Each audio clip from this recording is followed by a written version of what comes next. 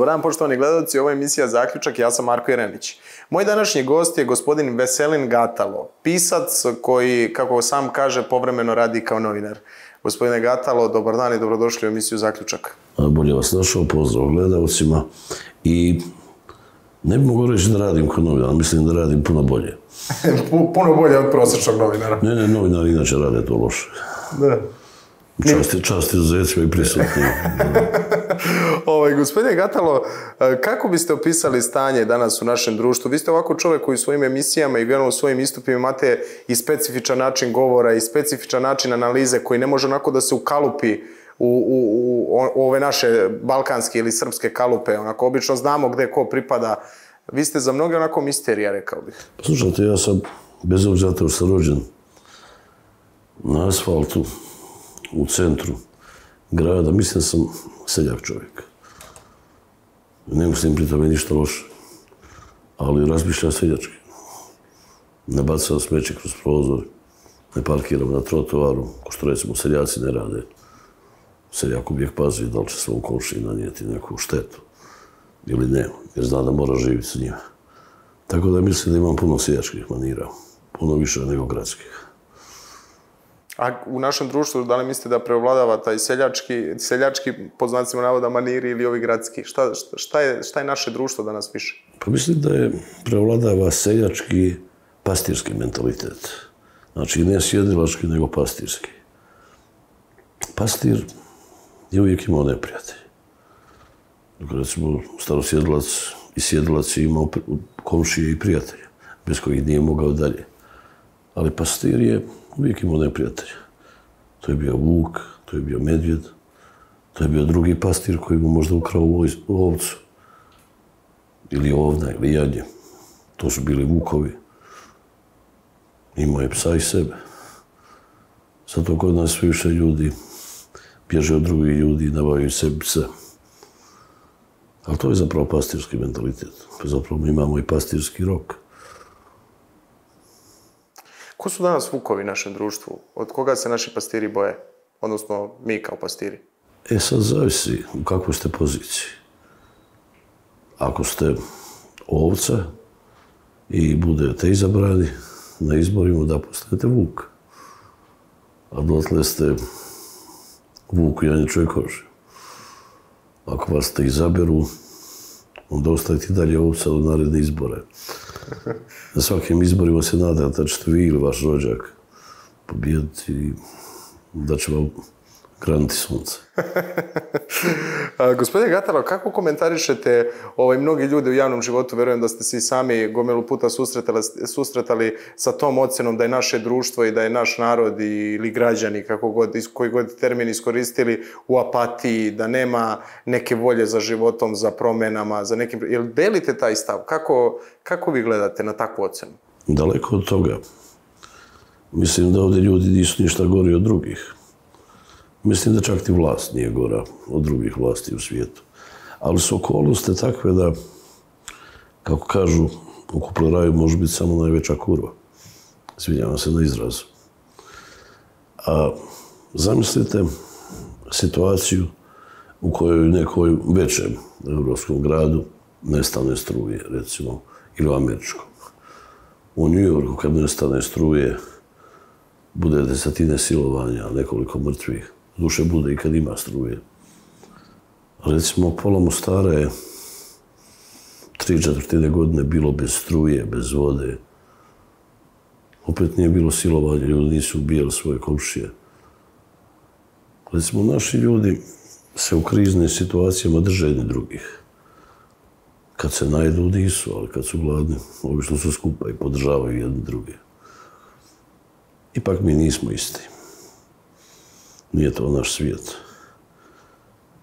I po jednoj mojoj teoriju, koja je možda malo nacistička, neki svijetovi se nikad nisu ne trebali bi sastati, ne vidjeti. Na koga ciljate, na koje svjetove? Pa evo recimo taj arapski svijet i naš. U redu je otići tamo turistički, u redu je otići i raditi tamo. Ali da sad ja nešto bolim tog beduina, to mi je baš malo usilu Boga, što bi rekli šta je on meni, ko je on meni, zašto moram da ga razumijem, zašto moram da ga volim. Zašto ikoga treba da razumijem i volim?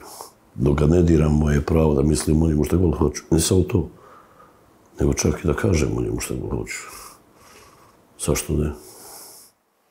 A da li možemo iz tih različitosti sebe obogatiti i nešto naučiti možda? Ljudi, postoje, postoje ljudi koji tu tezu gaje, da je u različitosti lepota. Naravno.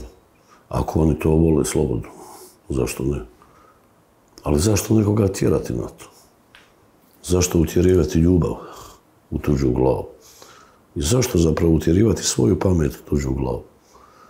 Ako dovoljno dugo utjerujete svoju pamet u nečiju glavu, možete mu istirati dušu iz tijela.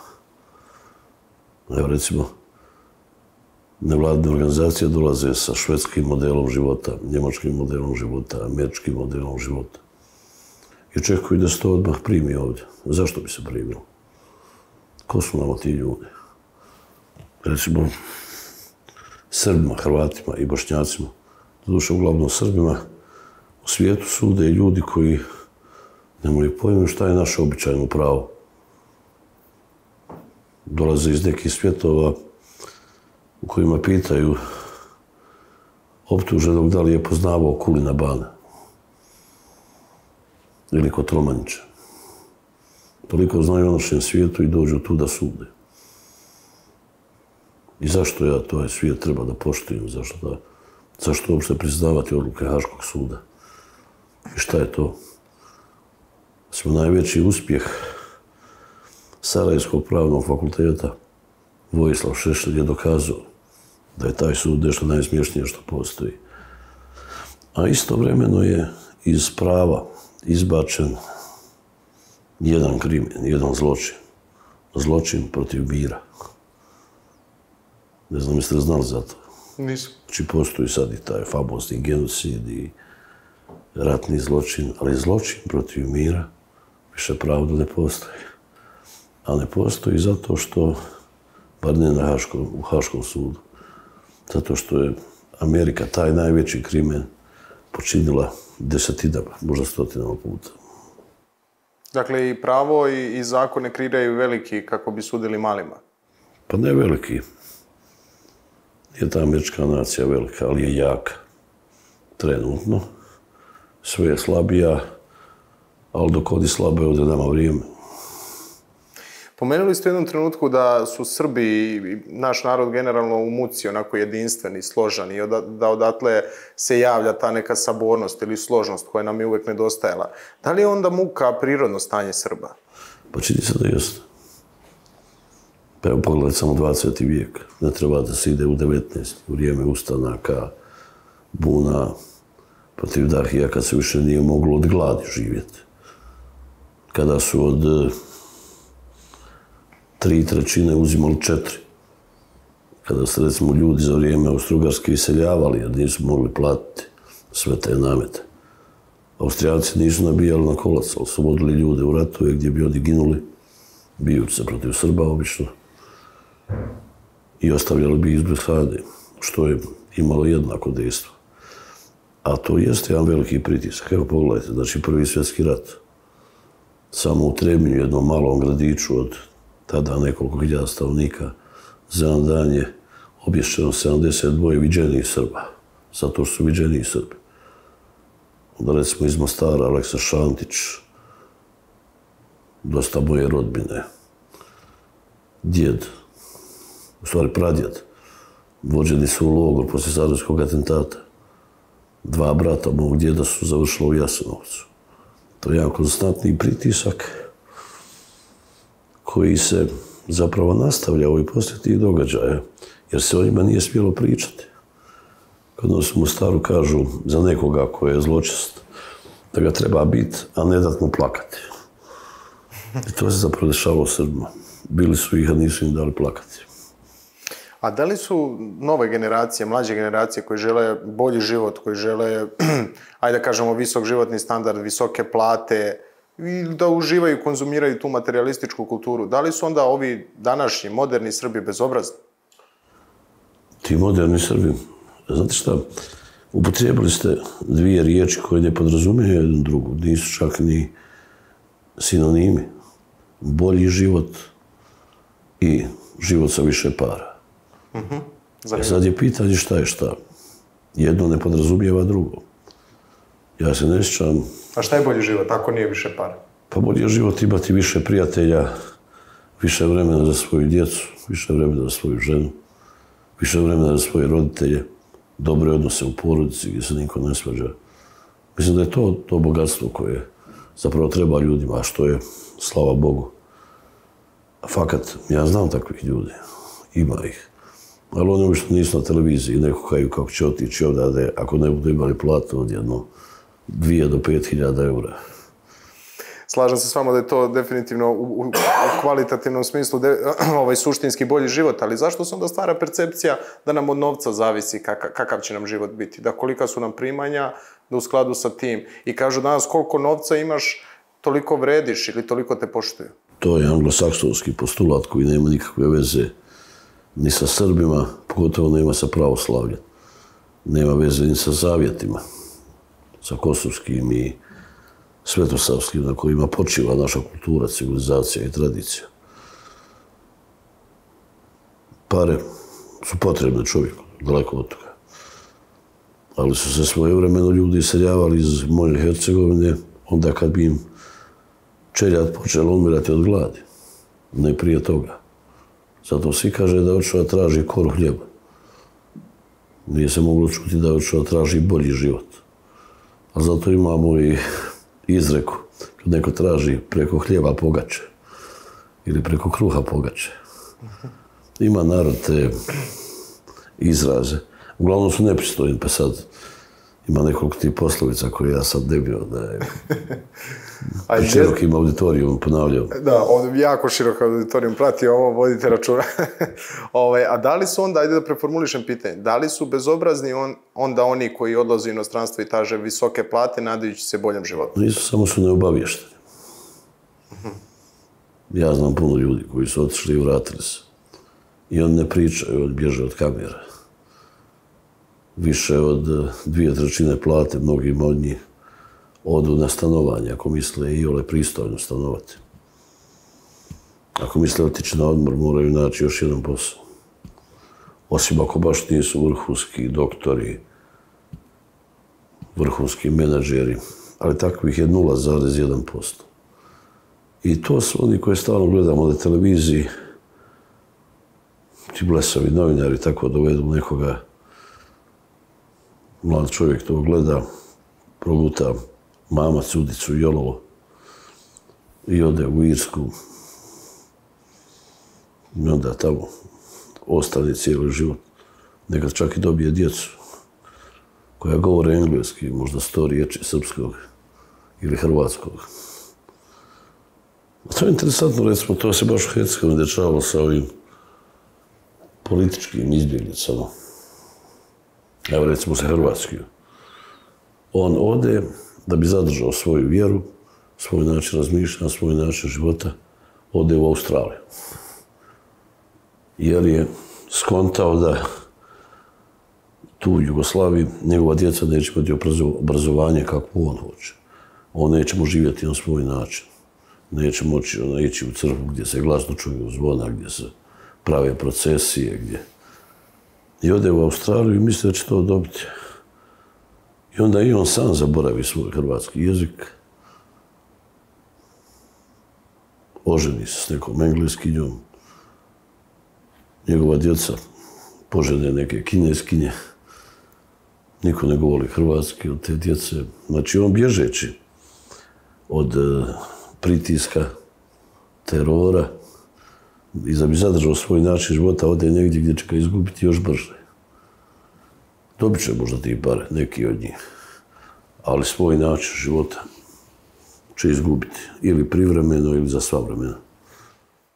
A gospodin Gatalo, verujem da će sad neko gledalaca reći, pa šta bismo mi, recimo Srbi ili i Hrvati i Bošnjaci, da nam nije tih Srba, Hrvata i Bošnjaka iz Australije, iz Nemačke, iz Amerike, koji nam šalju ovde i pomažu nas, i tako nam dižu i ovu statistiku koja, koj, kojom neredko mašu naši pa, slušajte, ja nemam nikoga ako mi šalje pare tako iz inostranstva.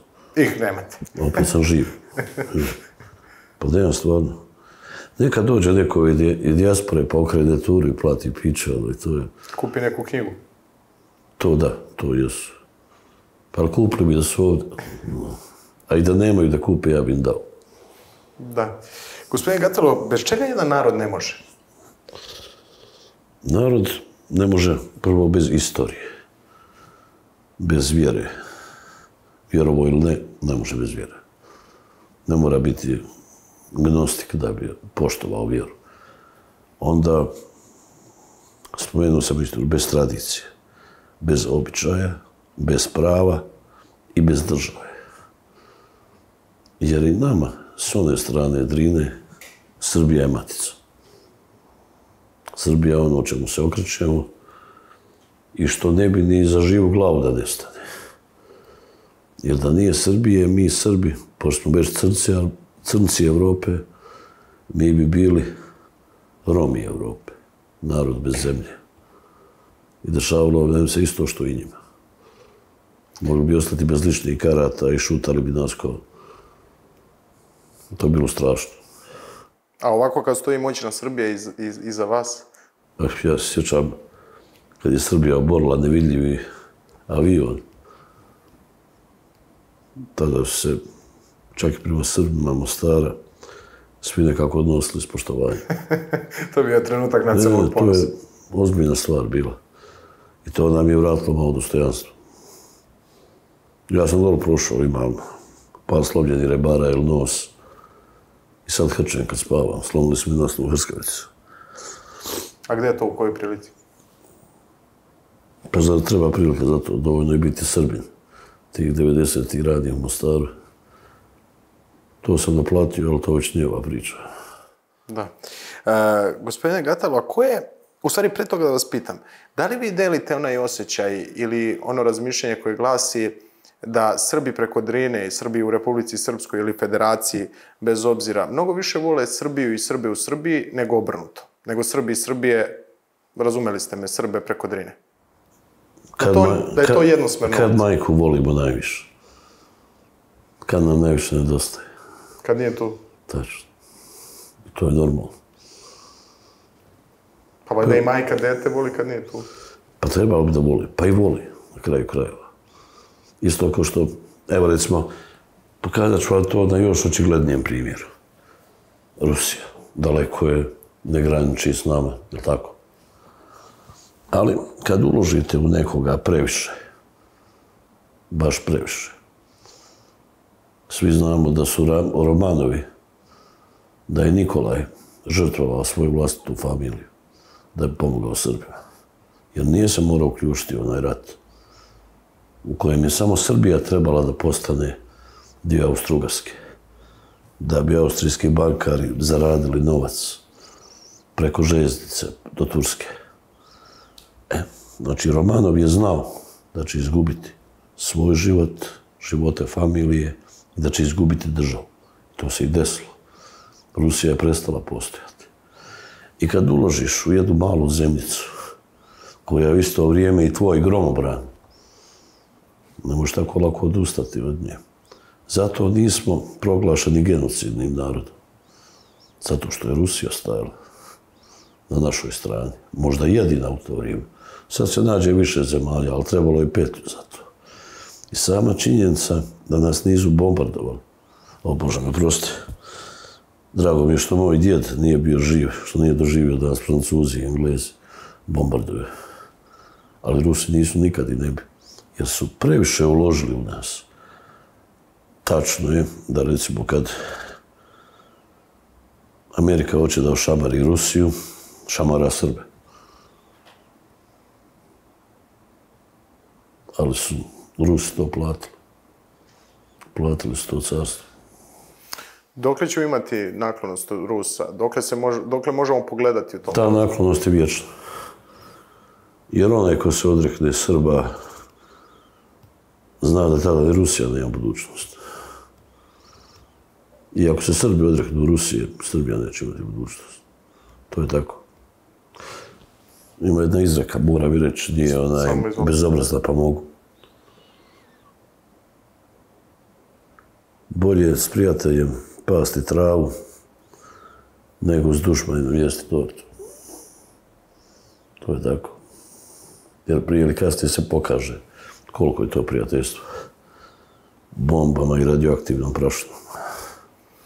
A zašto onda politi naše političke elite, evo, pre svega kad govorimo o Srbiji, evo, nizom decenije unazad, zvanična politika jeste okretanje ka zapadu, približavanje tom i, i toj političkoj sferi, a i, ajde da kažem, i kulturnom obrazcu. Ovaj, zbog čega je to ako su osjećanja naroda takva kako kažete? Pa to je zato što se od zapada očekuje. Prvo da upotrijebi mrkvu, a da ne upotrijebi batinu. To je bilo najočiglednije u vrijeme kada je visoki predstavnik u Bosni i Hercegovini onako ko s poslom smjenjivao političar. Jednostavno ne sviđa mu se i oduzme mu mandat. Ja mislim da se to nije došavalo ni u ni u onim režimima, u apartheidu se to nije dešavalo. Mislim, crnci su mogli sebi plemenskog vođu da izaberu. Znači, izbori su bili besmisleni. A i sad nije puno bolje, recimo.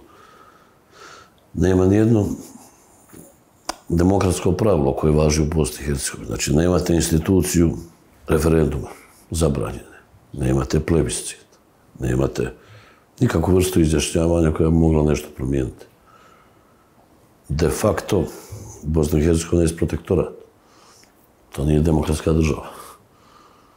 Jedino mjesto u kome ljudi mogu birati i odlučivati je Republika Srpska.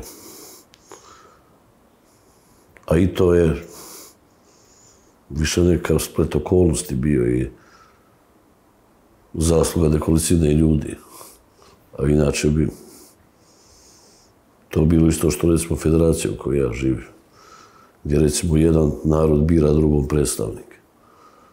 Idealno za zapad bi bilo da jedan narod bira predstavnike i Srbima i Hrvatima zato što bi lakše vladali tim teritorijom.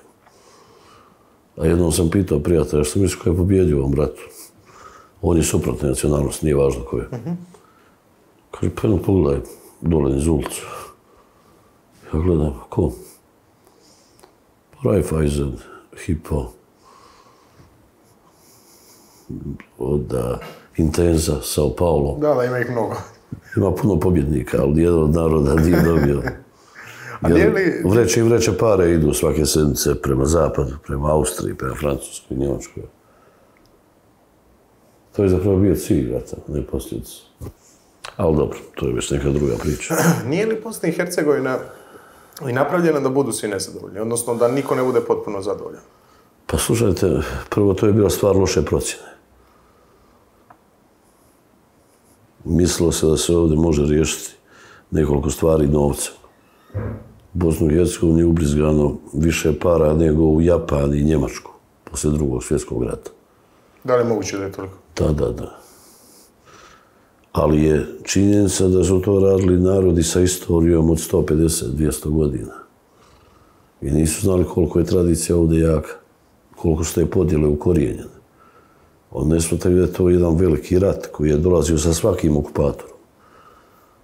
Sa Bizanticima je došlo katoličanstvo. Sa Osmanlijama je došlo islam. Te podjele su napravljene, a još je gore kada se dođe neki, nađe neki ujedinitelj. Smo ti Amerikani su stvarno mislili da od Srba, Hrvata i muslimana, kasnije Bošnjaka, mogu napraviti neku vrstu Amerikanaca. U New Yorku živi više Italijada nego u Rimu. Ali oni se recimo ne mogu prepoznati ni po čemu, jer oni u Americi nemaju ni svoje korijene, ni zajedničku tradiciju. Jer mi Srbi nismo Bog zna kakav narod. Nismo nešto pametniji ni bolji od ostalih. Ali imamo dva zavjeta koji nas definišu. Da nemamo svetosavski i kosovski zavjet. Nemamo zavet koji kaže da moraš braniti sebe od drugih i drugi kosovski, u stvari drugi svetosavski da znaš braniti druge od sebe. Što bili bolji od Bušmana, Šiptara, Hotentota ili bilo kojeg drugog naroda? Kako gledate na onu tezu, verujem da ste čuli, više puta je ponovljena ovaj, u javnosti, ali izrečena, da je nacionalizam tema za platu do 300 ili 500 eura, koliko beše, i da se mi bavimo ovim našim problemima zato što živimo loše i zato što nemamo više. No, mislim, to je NVO Ubleha. Znate šta je Ubleha? Ne. A to je isto što je šupljak, to je prazna priča koju nevladin sektor ovdje plasira. Rambo Abdeu se slaže s tim, ali on je toliko jak da, da on ima pravo to da kaže i da to misli. Ja se sjećam, možda se vi ne sjećate kasnih 80. Nikad se živjelo nije bolje. I nikad nije bila jača ta priča o bratstvu i jedinstvu. Stvarno je bilo para. Stvarno se moglo raditi i zaraditi. Za jugoslovenski pasoš se mogu ići svugdje. Privreda je buktala. I opet smo se pobrili. Govorili vam to išto. Kako ste vi razmišljali u tom trenutku? Jeste mogli da predvidite ono... Pa ja sam jedna velika lažovčina. I kukavica. Ja sam se zakleo 85. čini mi se. Da ću po cijenu života braniti Jugoslaviju, bratstvo, jedinstvo, tekovine NOB-a. Što je najgore, stvarno sam vjerovao u to. Evo, ništa od toga nisam odbranio, ja sam još živ. Što znači da je to zakletva koju nisam ni održao, ni... Tako da više ne mogu sam sebi vjerovati. Možda i ovo što pričam nije istina, ali po mom vjerovanju čovjek ne mora biti u pravu da bi rekao što misli. Ja dopuštam da nisam u pravu. Samo Jakovljević, sam ja lud, ja ne mogu sebe da vidim sa strane. U svakom slučaju, ja sam čovjek koji se svaki dan rastane sa sobom od juče. Jer uvijek saznam nešto što će me bar za 0,001% promijeniti. Zato je život lijep. Što nikad ništa nije isto. Gospodine Gatalo, ko, je, ko treba da brine o, o, ajde da kažem, duhovnom zdravlju jednog naroda? Odnosno, ko treba da osvešćuje ovaj narod?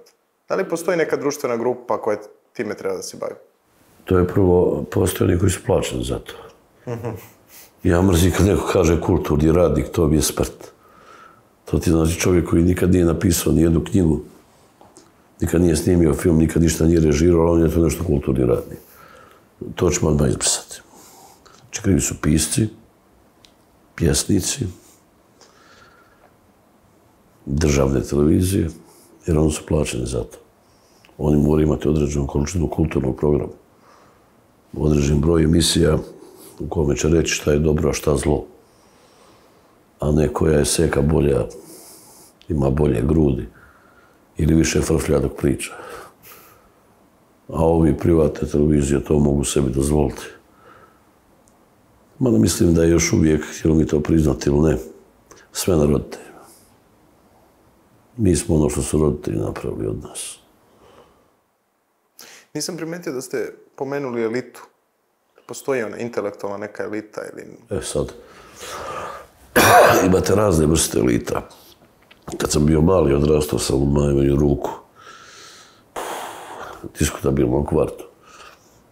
I elita su bili oni koji bi vas bacili u neretvu da naučite plivati i onda vas vadili iz neretve kada bi se vi počeli gušiti.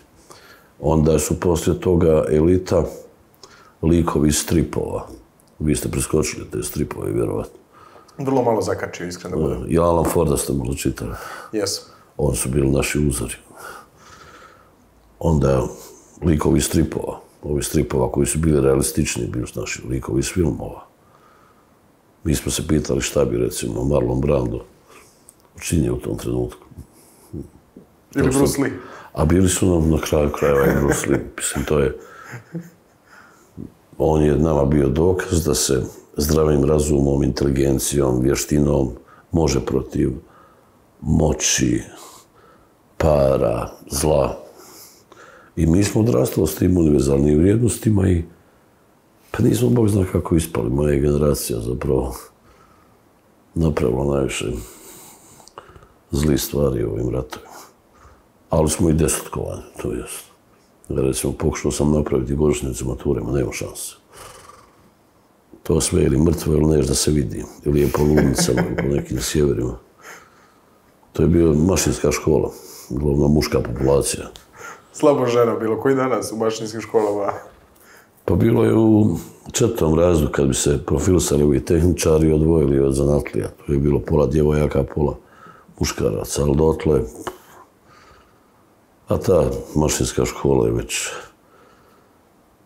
Evo samo da napomenem da gradonačelnik Ljubo Bešlić, koji je gradonačelnik već četvrti mandat, on je išao u tu školu. Sve vam jasno. Ali sad evo kad, kad se osvrnete na, na period i, i osnovne škole, srednje škole i evo dotakli smo i kraj 80-ih i, i, i taj neki period. Kako, kako vam je onako, koja vam je prva asocijacija, koja vam je osjećanje? Na šta? Pa na taj period generalno, prva pomisa onako. Odrastanje. Odrastanje, da. Divno i strašno. Mada mislim da je bilo više strašno, jer se na kraju sjećam onog boljeg, onog divnog. Čak se ljudi iz rata sjećaju glavno smiješnih stvari. A one strašne nekako zaborave. Kažu da je djetinstvo najljepše ma nije. A to je strahota jedna. To je, bar sam vam rekao, nedoumica između toga ko će vas više prebiti. Onaj koji vam kaže da donesete loptu ili onaj koji vam kaže nemojte donijeti loptu. I to je bilo vrijeme konflikata profesori u srednjoj školi su bili uglavnom pijanci. Oni koji nisu bili za proizvodnju. Nažalost, bili su nam uzori. Tako da u mojoj generaciji ima dosta alkoholčara. I tako to. Da je lijepo, nije. Zapravo, nijedno vrijeme nije lijepo. Ali postoje trenuci zbog koji vrijedi, recimo, otrpiti čitave godine. Bar ja tako mislim a ne mora znači da sam pravo, ne bio prvi put. A zašto onda, e, čini mi se neredko, svi mi, naročito oni koji imaju više iskustva i godina, ajde da ne uključujem tu nešto sebe, zato što i nemam previše životnog iskustva, ali često čujem da ljudi kažu ona neka vremena prošla su bila lepa. Dobra stara vremena. Dobra stara vremena. Ovo danas nikad gore, nikad, nikad teže. Pa jeste, tada nisu imali išijas, nisu i bolila leđa, stopala su im bila gipka, koljena se mogla saviti, mogli su uraditi 50 sklekova. To je isto oko ona priča. Poslije drugog svjetskog rata, prije rata nismo imali ništa, onda su došli švabe i uzeli nam sve. Ljudi se obično sjećaju vremena, vremena u kojem su bili vesela, kastrirana sirotinja koja nije smjela pisnuti u toj Jugoslaviji. Ja sjećam svojih staraca što god kažem, šuti, nemoj, šuti, nemoj. Isto kada je veliki brat bio tu negdje. Do duše i sad se isto ponavlja. Sad nam nameću neku vrstu političke korektnosti koja ima potpuno isti efekt. Znači, ne smiješ pričati viceve o židovima, o ciganima, o crncima, o muslimanima, katolicima, protestantima, ali zato smiješ o pušačima što god hoćeš. Pušači možeš da mrziš, možeš da ih na aerodromu staviš u kafes, u staklo, ko kakve zvijeri u terariju, svi prolaze pored njih, čude im se pa i gledaju. Ono je strašno. I u hrišćanima se isto možete zezati kogod hoćeš. Sa hrišćanima? Normalno, sa Isusom, sa sa čitavom vjerom se možete sprdati koliko vas je volja. Ali ostalo ne smijete dirati. Ni visoke ljude, ni male ljude. Ne smijete izvati patuljcima. Ne smijete ove visoke zvati kiklopima. Ili tako. Trolovima ili tako nešto. Uglavnom, politička korektnost će nam ubiti smisao za humor. A veliki narodi preživljavaju zahvaljujući smislu za humor. Ja mislim da je Britanija Britanija zbog John Cleese i Monty Pythona. Zbog sjajnih i duhovitih ljudi. I Amerika bi nestala da nema duhovitih ljudi. Francuska isto tako. Srbi bi da nemaju Branislava Nušića, Petra Kočića, još nekolicinu njih, bili Hrvati. Bez smisla za humor. Hrvati nemaju smisla za humor. Imaju, imaju. I taj smisao za humor ima ime i prezime, zove se Željko Perva. A do duše, sa ove strane hrvatske granice, Hrvati imaju smisla za humor. Smo u zapadnom Hercegovini, Ljubškom. Ljudi su em duhoviti, em vispreni. U Istri tako imaju. A duše, država Hrvatska nema smisla za humor. Tačno, ja. Hrvati možda imaju. Ne. A ja znam da ovi sa Bosni i Hercegovini imaju smisla za humor. Su ne strade granice, oni slabo. Ja to mogu potpisati. A ko, ko je najduhovitiji u Bosni i Hercegovini? Bošnjaci, Srbi ili Ma Hrvati? Srbi su, ne. Srbi su čudo. Ja gledam, recimo, kad su poplave. Kad voda, ako poplave kod nas nisu benigne, duše nisu ni kod vas. Kod nas kad dođe poplava, nosi sve, rasturi. I bez obzira, a ljudi liče, nema fizičke razlike između Srba, Hrvata i Bošnjaka. Ali ti možeš prepoznati, prije što napišu ime ispod, ko je ko. Bošnjak plače. On jedan rastaje sa životom, dosta mu je svega, spominje i rat, kako je da drapo 500 puta do sad. Hrvat kaže, Bog dao Bogu se. Onako, smireno. Racionalno, onako. A Srbin će reći, haha, evo, jedva su mi uveli vodu u kuću, sad imam još vode, ono, puno vode u kući imam. Znači, Srbi su jedin narod koji je spreman da se zeza na svoj račun. Tako da su to ti profili onaj, koji možeš na televiziji da uhvatiš. Pa evo, ti ste u Sarajevu. Ti ljudi ako pričaju, pričaju o ratu. Ako šute, šute o ratu. Non stop je neko kriv, neko treba da im nešto plati. Bez obzira zato što je protirano 160.000 Srba, opet je to građan. Zato volim Mostar. Tu se još sukobljavaju mišljenja. Nije multinacionalan, ali je dvonacionalan. Sa 5-6 hiljada Srba. Ali je činjenica da se tu i među Hrvatima mogu daći čašta mišljenja. I među Srbima i čak i među Bošnjacima. Dobra, Hercegovina je nešto. Sasvim drugo. Zapravo, vi vodite ovu emisiju, trebate joj prekinuti. kad Ne, ne, ne, počne. da vam posle ovaj, uživam Ono, zaista, ali... Možemo bi i Hercegovci pričat. Mi 11 mjeseci godišnje živimo vani, susrećemo jedne druge, nemamo izbora. Evo, pomenuli ste Sarajevo, ono što mi se negdje odmah nameće kao pitanje.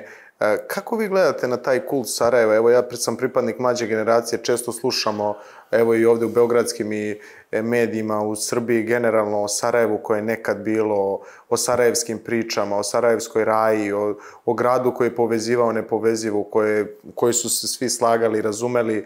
I čini mi se da se i danas u jednom delu javnosti jednakim žarom i, i, i, i na, na isti način bukvalno gleda i današnje Sarajevo i da se predstavlja ovaj, kroz tu prizmu.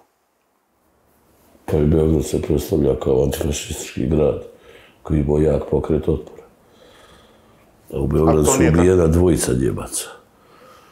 Jedan je poginuo desretnim slučajem, a drugi je ubijen zbog kurvaluka. U skred grada je bio logor koji je imao blagoslov gradskih vlasti, koji crni antifašizam. Prvi grad koji je bio Judenfraj u Njemačkom raju.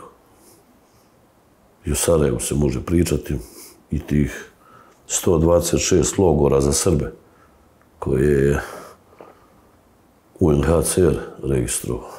Ali o tome nećete čuti ni na CNN, ni na BBC-u.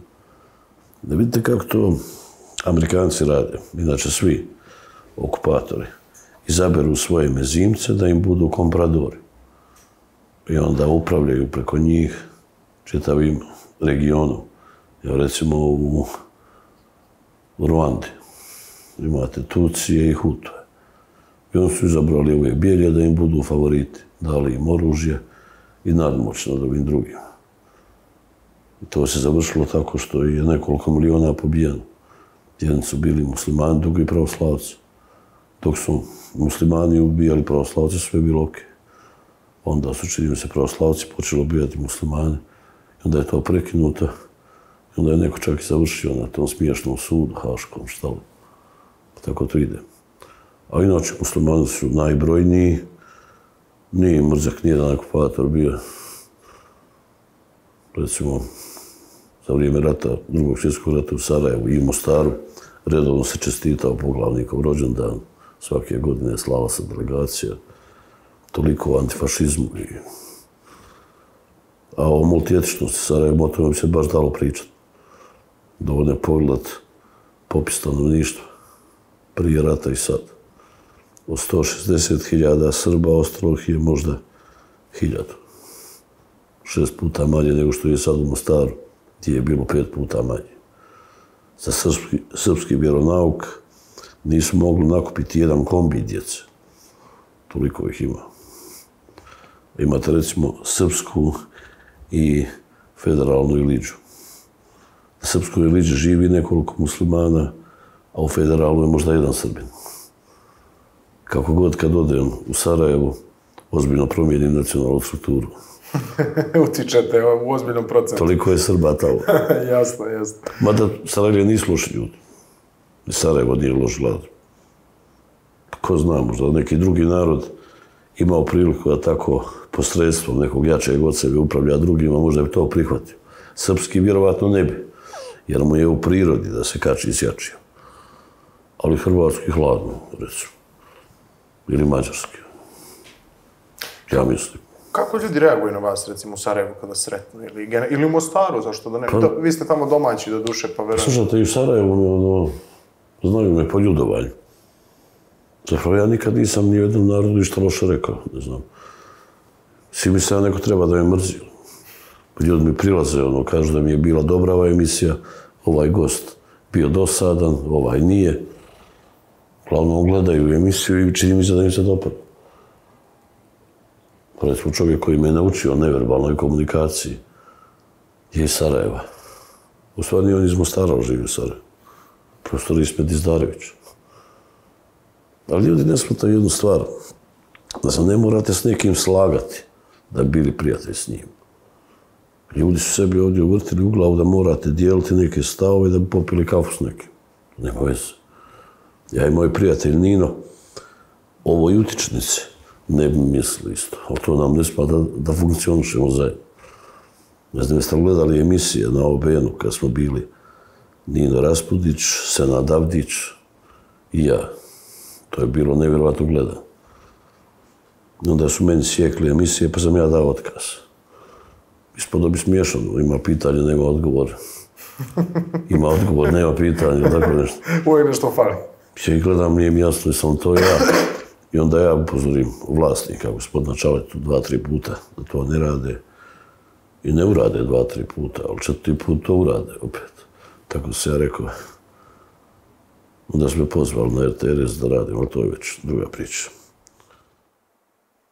Dotakli ste se ljudovanja, ja ne znam koliko ste vi ajde da kažem, svesni ili koliko obraćate pažnju, koliko se u Srbiji gleda ta emisija i mislim da je jako praćena i na internetu i preko RTRS-a, naravno, ovim mrežama na kojim može da se hvata. Mislim i da ima i na SBB-u i na MTS-u.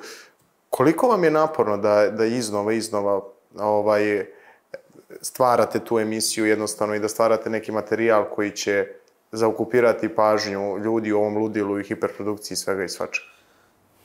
Pa nije baš osjećam se polaskanim.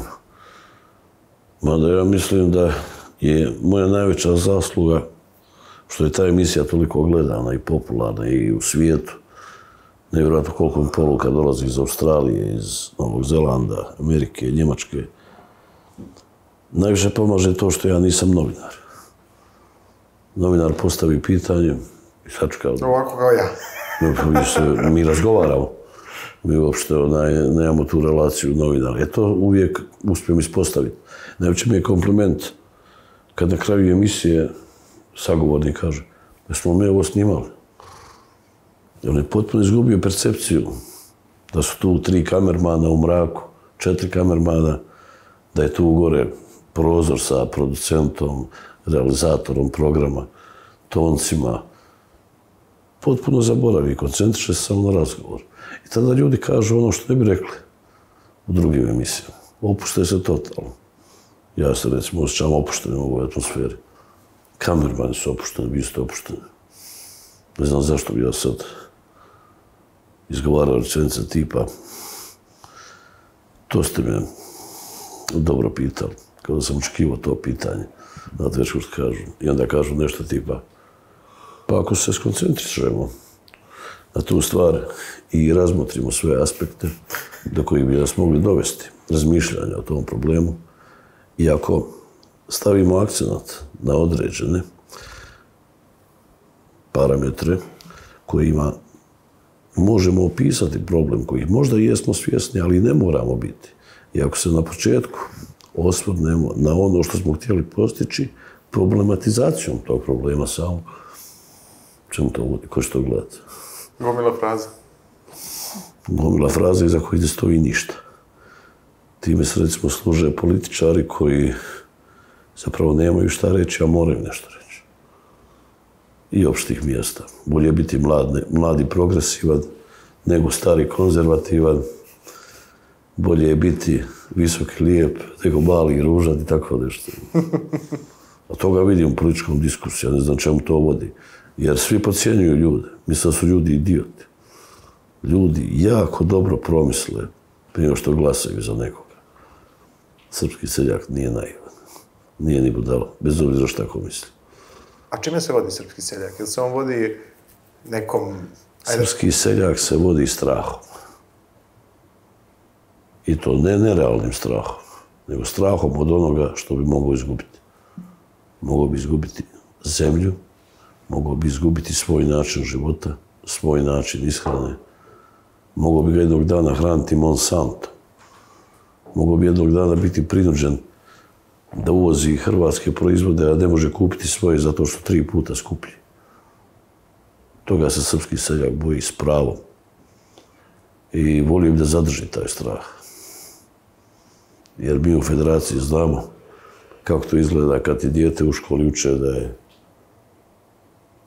rijeka Drina, ta koja razdvaja Srbiju i Bosnu i Hercegovini, rijeka Una, ta koja spaja Hrvatsku i Bosnu i Hercegovini.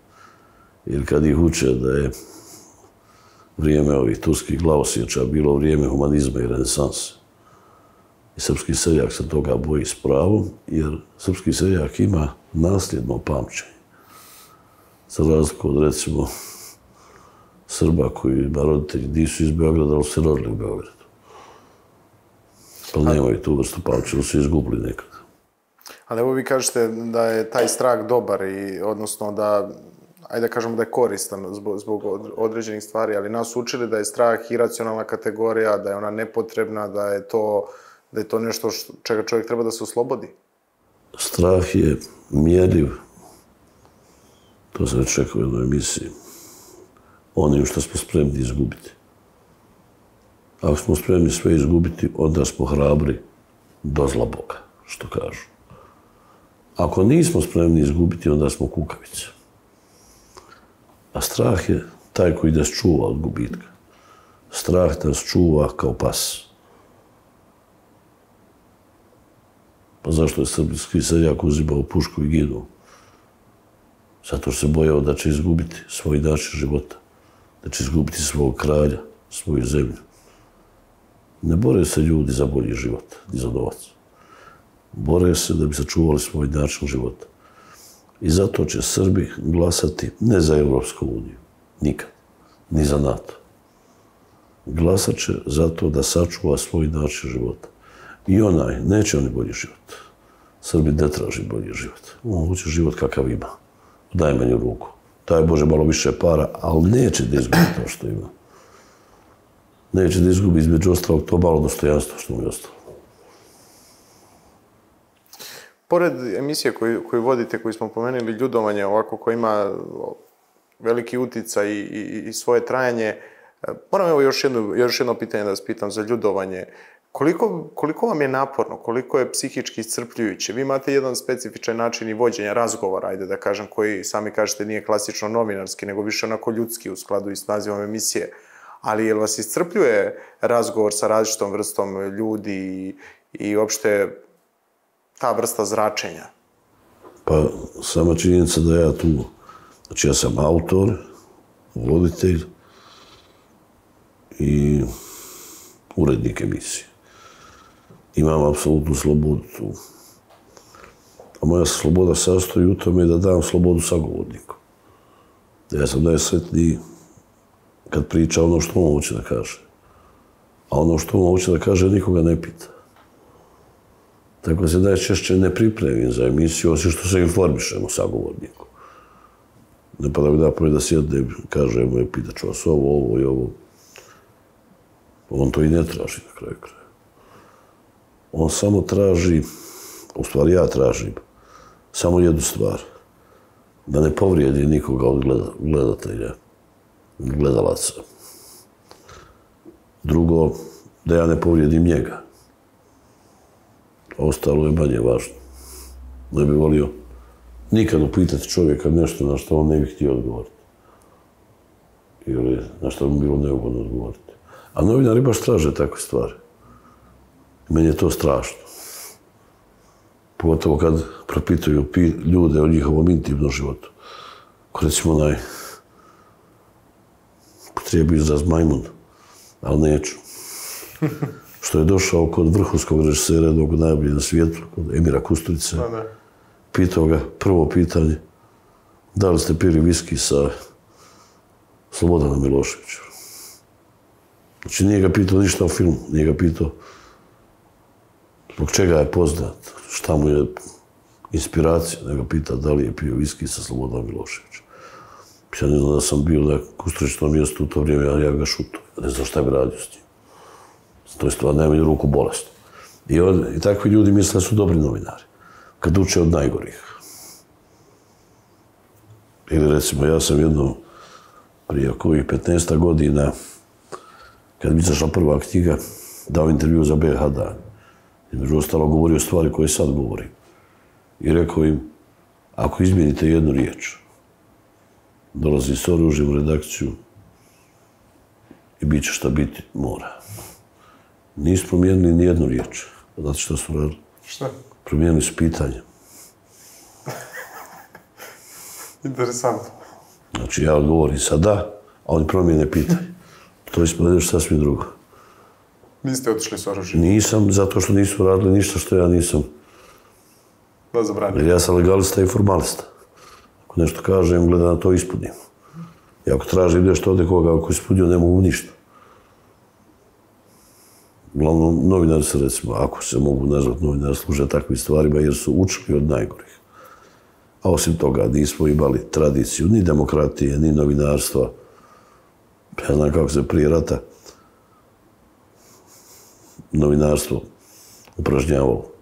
Centralni komitet ti kaže šta ćeš objaviti i to je to. To je bilo novinarstvo. Bez problema. Zato su svi alkoholčari. Imali su viška vremena i besplatan pristup alkoholu. Šta ste mi rekli, vam iscrpljujuće da radite emisiju? Ma nije. Ne. Pa dobro, jes nekad. Kad recimo nazovem direktora programa, on mi se ne javi. Ili kad recimo snimim emisiju sa Duškom Tadićem, prvim čovjek koji je osuđen za ratni zločin, koji je poslužio, poslužio za izricanje kazni i ostalim pod navodnicima ratnim zločincima. Ispostavilo se da je čovjek nevin. Da nema nikakve veze s ratnim zločinom. Čak nije ni bio blizu kad su ušli ti ratni zločinci. I naravno napakovali su, im drugi, napakovali su mu to drugi Srbi. I ta emisija nije puštena mjesec dana, dok ja nisam iskočio iz kože. Recimo, to su iscrpljujući momenti. Kad se neko plaši tamo gdje tebe treba biti strah. Ali on, eto, plaši se i za tebe, i za sebe, i za sve živo. Strah života obrazkalja često. Strah je, recimo, uzrok jednog od najvećih grijehova, grijeha nečinjenja ko smo mi puta mogli nešto promijeniti, nešto dobro uraditi, a nismo, zato što nas je strah spriječio u tome. Gospodine Gatalo, evo, eh, pred krajem intervjua, žao mi je što nekako, evo i to je verovatno kad čovjek malo razmisli onako kritika i samo kritika i generalno čini se da se to intervjuima dešava, ostavljamo možda ono najlepše za kraj ili, ili kulturu nekako na kraju, ali ja imam informaciju i da, da se vaše knjige ekranizuju i da Geto će sada biti na Beogradskom sajmu, ovaj, knjiga za koju vlada veliko interesovanje. Šta možete reći o, o, o, o sklapanju scenarija, odnosno davanja scenarija za, za, kakav, Eh, za kakav film, za, kak, za kakav eh, program? Inače, zadnjih nekoliko decenija srpskom filmu nedostaje dobar scenarij. Rijetkost je stvarno da se dijelomično dobar scenarij nađe. I ja sam shvatio da je scenarij književna forma. Da je zapravo knjiga samo korak od scenarija, ko što je scenarij korak do filma. I mislim da se samo nosači umjetnosti mijenjaju. I mislim da sam uspio e, napisati knjigu koja jeste korak do scenarija i što je još važnije, knjigu koja već odavno počela da se ostvaruje. Čak se bojim da ova knjiga projektuje društvo nekako. Izašla je u Njemačkoj par izdanja, više izdanja. Orwell je napisao 1984. I ona se ostvarila. Veliki brat, ekrani. TV ekrani imaju kamere, ne znam jeste li znali to. TV ekrani da imaju kamere, ovo je možda moderniji. Da, da, ovi pljostati. Iako ste interesantni, mogu da vas gledaju, čak kad je ugašen. A osim toga, kalovski operator može da odredi i vašu seksualnost i vaše sklonosti, nivo obrazovanja, afinitete, šta volite, šta ne volite. Tako da je to zapravo veliki brat. To je ono što je Orwell predvidio. I mislim da je Orwell zapravo projektovo ovo društvo. Da je zapravo ovo društvo išlo prema ostvarenju te knjige. I sad, Bože mi oprosti, nadam se da ja nisam taj koji je učinio da se stvari odvijaju ovako kako se odvijaju ovi antiteroristički ratovi koje sam ja napisao već 2005. u toj knjizi. Onda ekološki ratovi koji treba da uslijede na koji 7-8 godina gdje će se čitav jug početi kredati prema sjeveru, gdje će nastati veliki sukob i onda ćemo mi zajedno s njima krenuti prema još većem sjeveru, to uništenja civilizacije i ponovog stvaranja civilizacije u podzemlju. I čini mi se da se taj geto, koji je zapravo Bosna i Hercegovina, veliki zatvor otvorenog tipa, koji još jedini ima život na zemlji, polako ostvario. Jer u Bosni i Hercegovini završavaju najgori iz cijelog svijeta. U getu se govori engleski, u Bosni i Hercegovini se više govori engleski. Ovdje čak i političari dolaze po kazni. Onaj ko ne može biti kulturni ataše u Rimu, pošalju ga u Bosnu. On je kvalifikovan za kulturnog atašeja koliko ja za Sita Vezi i Heklanje. Ili recimo, čovjek koji treba da nas pridruži Evropsku uniju je hronični pijanac. On ne može da stoji. Jean-Claude Juncker. Onda ovaj Hasgudar Videmark. Znate onu priču sa mačkama u frižderu. Ne znam. Čovjeku su našli zamrznute mačke u planjaku. Kad se pokupio. Bile su četiri, dvije su nestale. To su drame žive. Uglavnom u Bosni i Hercegovini se ljudi iseljavaju. A dolaze najgori iz čitavog svijeta. Dok jednom neko ne odluči da to pretvori u zatvor sa velikim zidom i energetskim poljem kojim će uglavnom govoriti engleski i malo njih će govoriti jezik starog naroda. Či zid i energetsko polje ne prelazno, ne prolaze čak ti radijski signali i humanitarni otvori kroz koje dolaze antibiotici, hrana i ostalo potrebno za tri vojske. Koskaste, mjesečaste i orlaste. Ali to kad ljudi čitaju knjigu. Vi ćete biti na sajmu knjiga, tako sad u oktobru u Beogradu. Moram da vas pitam i za to, evo, na samom kraju emisije. E, kako gledate uopšte danas i na, na, i na sajam knjiga u Beogradu? Dosta je bilo pri, priče, čini mi se, da li pro, za prošli sajam ili predprošli, tu se pojavljuju dela koja izazivaju veliku pažnju. Neka je, ne znam koliko ste ispratili, ne, jedna reality učesnica, Kea Kockar, ona je napisala neko delo, pa ne znam, neke pevačice ili tako neke domaćice koje napišu određene dela, pa sto marketinški gura. Da li mislite da je i sajam knjiga izgubio tu svoju neku težinu ili kako posmatrate takve pojave? To smatrate normalnim ovim novim? Ja mislim da je to sasvim okej. Okay. Uh -huh. Mislim da je to u redu. Jer sve to treba proći kroz sito vremena gdje je recimo ta, ne znam da li je Maca diskrecija ili je Nives Celsius. Nives sam upoznao da je jako inteligentna žena.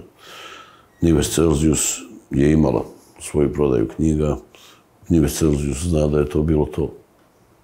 Dok recimo neki bivši glumci, komičari, su se stvarno uvrtili u glavu da su pisci.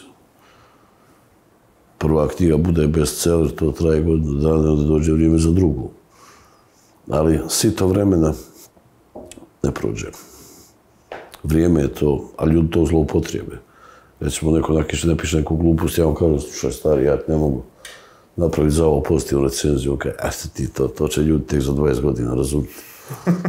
Ima i toga ali vrijeme je svjedok, sudija, kome ništa ne može pobjeći. Ko preživi vrijeme, ovoliko izdanja, recimo Geta, nije ja ne vjerujem u svoje pisanje, da se razumijem. Meni uvijek treba potvrda. Kad bi recimo čovjek koji ne voli čitat kaže šta mi uradi do ujutru nisam mogao prestati. To mi je recimo kompliment. Jer ja pišem za ljude koji ne vole čitati. Ovi koji vole čitati ići na ove kružoke, ti su mi manje važni. Jer ciljna grupa mi je ta da odgojim čovjeka koji će tražiti još pet knjiga kad pročita jednu moju. Kako god pisanje izazov. U čemu više uživate? U pisanju ili u vođenju emisije Ljudovanja? Eh, ja više, najviše uživam u pričama koje pričam sam sebi. To je možda malo šizofreno. I ako mi je priča koju ispričam sam u sebi, čujem detalje priče, sklopim je u glavi. Ako mi je dovoljno dobro da je napišem i za druge, ja sjednem i napišem. Pisanje ne traje dugo. Ali sklapanje priča, doživljavanje priča, to je već proces za koji opet, kažem, treba vrijeme. Ili malo vremena, ali puno zavisi od snage priča. Recimo, geto je bio rečenica. Vuk je bio jedan od posljednjih rođenih u getu. Onda sam napisao priču koja je dobila nagradu Istrakon za najbolju SF priču te godine da sam napisao roman i roman je dobio nagradu za najbolji žanrovski roman te godine u Hrvatskoj, u Zagrebu. A na zadnjoj stranici sam napisao da su mi otac i majka, djedovi i babe, pradjedovi i prababe, Srbi, a nisu. Postoji osnovana sumnja da sam i ja Srbin. I pored toga mi daju nagradu za najbolji žanrovski roman. Zato je književnost dobra stvar niko neće da se odrekne Andrića. I oni koji su pokušali da mogu. Ni Srbini, Hrvati, ni Bošnjaci. Naprotiv, otimaju se, tako su. Nekad bi ga najradije razbili zajedno s njegove spomice, a nekad se otimaju za njega, zavisi kad im zatreba. Recimo, isti ljudi koji su rušili Šandićev spomenik u Mostaru, bacili ga u Neretvu, bili su u publici kad se taj spomenik ponovo postavio. To je tako. To je apsurd možda ovog prostora i ovog... To je sudbina svih velikih ljudi. Pa, kako smo mi narod na kraju krajeva, legitimno izabranog predsjednika Slobodna Miloševića, zakopamo iza kuće ili ispred kuće. Pa to je malo bolest. Mrtvima je mjesto na grobi. Ili imamo mi ti dobri stvari u kojima treba dobar psihijatar da razgovori. Recimo Dobrica Čovjeć koji je sjajan pisac pa svi ga se odriču, ja ne znam zašto taj taj čovjek radi. Čovjek je bio iskren prema sebi i prema drugima. Zašto recimo mi Srbi lažemo? Ja recimo lažem kad kažem svoje tetke da su joj kalači dobri. Šta drugo da kažem? Tetka ovo ti je ko blato.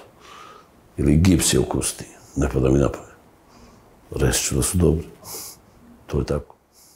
Gospodine Gatalo, puno sreće i uspjeha u daljem radu, puno hvala za ovaj intervju. Vidimo se na Beogradskom sajmu knjiga i naravno želim vam puno sreće i uspjeha nadalje i da još ovaj, ponekad kad ste jeli u Beogradu da snimamo neku interesantnu emisiju i da porazgovaramo o temama koje sad nismo stigli i obuhvatili. A zašto ne? Vi ste ovo snimali, jel?